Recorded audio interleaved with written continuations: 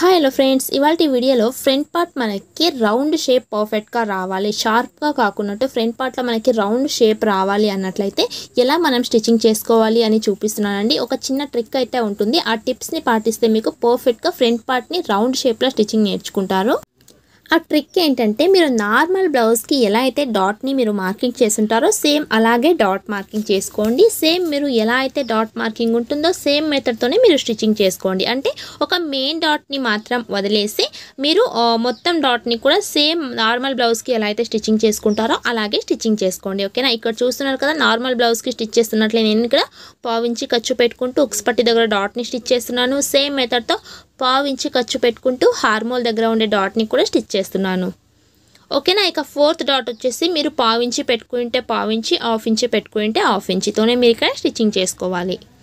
ఓకేనా? ఈ మూడు డాట్లు నార్మల్గానే స్టిచ్చింగ్ చేసిన తర్వాత ఈ మెయిన్ డాట్ని మాత్రమే మనం నార్మల్గా కాకున్నట్టు కొంచెం డిఫరెంట్గా స్టిచ్చింగ్ చేసుకోవాలి. చూడండి మూడు డాట్లు స్టిచ్చింగ్ చేసినా కూడా ఎలాంటి మనకి ఇక్కడ షేప్ అనేది రాలేదు. ఈ యొక్క మెయిన్ డాట్ పైనే మనకి డాట్ అనేది మొత్తం కూడా ఆధారపడి ఉంటుంది.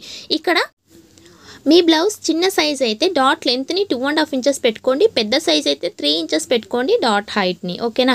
ఇలా లెంత్ని పెట్టుకున్న తర్వాత ఈ యొక్క మిడిల్ పాయింట్ మాకు ఎక్కడ దొరుకుతుంది? ఎక్కడ వచ్చేసి మెయిన్ డాట్ని స్టిచ్చింగ్ చేసుకోవాలి అంటే ఏ సైజ్ వారికైనా సరే మీకు ఈజీగా అర్థమయ్యేలాగా చెప్తున్నానండి. మీకు కొలతలతో అస్సలకి అవసరం లేకున్నట్టుగానే ఈ డాట్ని మీరు స్టిచ్చింగ్ చేసుకోవచ్చు. పర్ఫెక్ట్ మీకు ఆ బ్రెస్ట్ పాయింట్ దగ్గర రౌండ్ షేప్లా వస్తుంది. ఈ నెక్ని చూడండి. ఈ విధంగా షోల్డర్ దగ్గర వచ్చేసి ఇలా ఫోల్డింగ్ చేసుకోవాలి.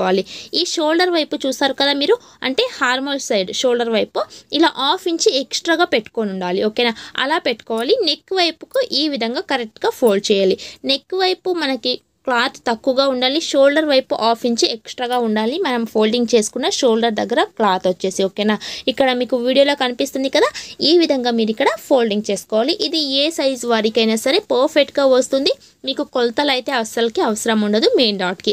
ఇక్కడ మాత్రమే మనం చూసుకోవాలి. చిన్న సైజ్ అయితే టూ అండ్ హాఫ్ ఇంచెస్ పెట్టుకోవాలి పెద్ద సైజ్ అయితే త్రీ ఇంచెస్ పెట్టుకోవాలి ఓకేనా? నెక్స్ట్ ఇక్కడ నుంచి డాట్ విడ్త్ ఎంత పెట్టుకోవాలి? చిన్న సైజ్ అయితే మీరు ఒకటి పావు ఇంచెస్ ఇక్కడ నుంచి డాట్ విడ్త్ని పెట్టుకోండి. పెద్ద సైజ్ అయితే ఒకటిన్నర ఇంచెస్ పెట్టుకోండి. మరీ హెవీ సైజ్ కనుక ఉండి బ్రెస్ట్ పాయింట్ ఎక్కువగా ఉంది అంటే కనుక మీరు ఒకటి ముప్పై ఇంచెస్ పెట్టుకోవచ్చు. నాకు ఇక్కడ పెద్ద సైజ్ బ్లౌజ్ కాబట్టి ఈ మీడియం పాయింట్ దగ్గర నుంచి ఒకటిన్నర మార్క్ చేసాం కదా.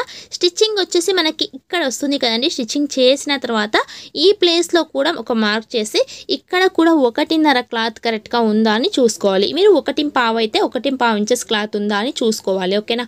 ఆ మార్క్ పైన మనం స్టిచ్చింగ్ చేసుకోవాలి కాబట్టి. నెక్స్ట్ ఇప్పుడు నార్మల్గా స్టిచ్చింగ్ చేసినప్పుడు మనం ఎలా స్టిచ్ చేస్తామో ఈ త్రీ ఇంచెస్ మార్క్ దగ్గర నుంచి ఇక్కడ దాకా స్ట్రైట్గా మనం ఇక్కడ స్టిచ్చింగ్ చేస్తాము. ఇలా స్టిచ్చింగ్ చేస్తే మనకి బ్లౌజ్ యొక్క ఫ్రంట్ పార్ట్లో కొంచెం షార్ప్గా వస్తుందన్నమాట. లేదండి మాకు షార్ప్గా వద్దు అంటే చూడండి ఈ రెండు మార్కుల మిడిల్లోకి ఒక పావు ఇంచి కన్నా తక్కువ క్లాత్ని ఈ విధంగా లోపలికి మీరు మార్కింగ్ చేసుకోవాలి. ఓకేనా? పావు ఇంచి కన్నా తక్కువ క్లాత్ని ఇలా మార్క్ చేసుకుంటూ కొంచెం ఇక్కడ కరువు షేప్ లాగా మనం మార్క్ చేసుకోవాలి. ఇక్కడ మీకు మార్కింగ్ ఇక్కడ కనిపిస్తుంది బట్ స్టిచ్చింగ్ చేసిన తర్వాత మీకు పక్కా క్లారిటీ అయితే వస్తుందండి. ఇక్కడ ఈ కరువు షేప్లో వచ్చేసి నేను ఇక్కడ ఇప్పుడు స్టిచ్ చేస్తున్నాను. ఈ యొక్క పాయింట్ని గుర్తుపెట్టుకుంటే మీకు ఫ్రంట్ పార్ట్ మీకు రౌండ్ షేప్లా వస్తుంది. నేను చెప్పినట్టుగానే షోల్డర్ దగ్గర ఫోల్డ్ చేసి ఇక్కడ డాట్ పెట్టారనుకోండి మీకు కావాల్సిన ప్లేస్లోనే మీకు ఆ రౌండ్ షేప్ కూడా వస్తుంది ఓకేనా ఇక్కడ ఇలా కరు షేప్లో అయితే వచ్చిందండి. ఇటువైపు మీకు టర్న్ చేసి చూపిస్తాను ఎలా వచ్చిందని స్టిచ్చింగ్ ఓకేనా ఇక్కడ నుంచి మనకి ఇది స్ట్రైట్ కదండి ఇలా స్ట్రైట్గా కాకున్నట్టు ఇలా మనకి కరు షేప్ లాగా వచ్చింది స్టిచ్చింగ్ ఓకేనా ఇలా వేసుకున్నాం కదా ఒక స్టిచ్చింగ్ చేసుకున్నాము మళ్ళీ ఇక్కడ మరొక స్టిచ్ కూడా వేస్తున్నాను. మనకి ఆ యొక్క డాట్ విత్ మనం పెట్టుకున్న ఒకటిన్నర ఇంచెస్ అంతే ఉండాలండి. అక్కడ మీరు ఏమి చేంజెస్ చేసుకోకండి.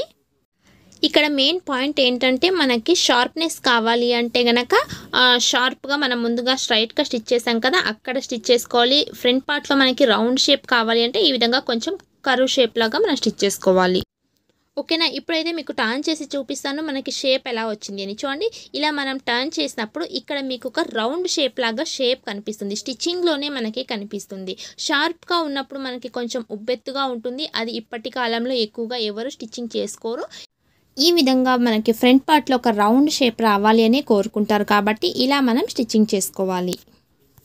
మీకు ఒక బ్లౌజ్ని షార్ప్గా స్టిచ్చింగ్ చేసి చూపిస్తానండి. చూడండి ఇలా షార్ప్గా మనం స్టిచ్ చేసామనుకోండి ఇప్పుడు రైట్ సైడ్కి చూపించినట్లయితే మనకి ఈ ప్లేస్లో అంటే మెయిన్ డాట్ ఈ ప్లేస్లో కొంచెం ఉబ్బెత్తుగా కనిపిస్తుంది. మనం ఏదైనా కొంచెం సాఫ్ట్గా ఉండే సారీ మనం వేసుకున్నప్పుడు ఈ ప్లేస్లో మనకి ఇలా ఉబ్బెత్తుగా కనిపిస్తుంది. చాలామంది ఇష్టపడారనమాట బట్ ఇక్కడ మనం కరువు షేప్లో స్టిచ్చింగ్ చేసుకునేది వచ్చేసి మనకి ఆ విధంగా ఉప్పెత్తుగా కనిపించదు. ఒక రౌండ్ షేప్ లాగా కనిపిస్తుంది. మీకు ఇక్కడ డిఫరెంట్ అయితే అర్థమైందని అనుకుంటున్నాను. ఇది కొంచెం మనకి ఉబ్బెత్తుగా కనిపిస్తుంది.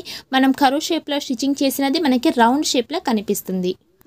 చూడండి ఈ విధంగా నెట్టెడ్ సారీ వేర్ చేసుకున్నప్పుడు కొంతమందికి ఇక్కడ ఉబ్బెత్తుగా కనిపించడం అయితే నచ్చదు. రౌండ్ షేప్ లాగానే ఉండాలి అనుకుంటారు కాబట్టి మనం రౌండ్ షేప్ లాగా నేను చూపించినట్టుగా మీరు స్టిచ్చింగ్ చేసుకోవాలి. ఇక్కడ ఉబ్బెత్తుగా కనిపిస్తే అస్సలు కస్టమర్కి నచ్చదు. మళ్ళీ దాన్ని ఏం చేయాలి అని మనం కూడా కొంచెం క- కంగారు పడుతుంటాం కాబట్టి నెట్టెడ్ సారీ ఉన్నప్పుడు మనం రౌండ్ షేప్ లాగా ఉండేటట్టు ఈ విధంగా స్టిచ్చింగ్ చేసుకోవాలి. ఇక్కడ నెట్ వేసినా కూడా మనకి ఉబ్బెత్తుగా అస్సలకి కనిపించదు. అక్కడ రౌండ్ షేప్ లాగానే మనకి కనిపిస్తుంది. ఓకేనా ఫ్రెండ్స్? ఆ ఒక చిన్న లాజిక్ని మీరు పాటిస్తూ స్టిచ్చింగ్ చేసుకోండి. మీకు రౌండ్ షేప్ కావాలంటే రౌండ్ షేప్ వస్తుంది షార్ప్గా కావాలంటే షార్ప్గా కూడా వస్తుంది. ఈ వీడియో అంతా ప్లీజ్ లైక్ చేయండి. మా ఛానల్ ఫస్ట్ టైం చూస్తే ప్లీజ్ సబ్స్క్రైబ్ చేసుకోండి. Thank you for watching.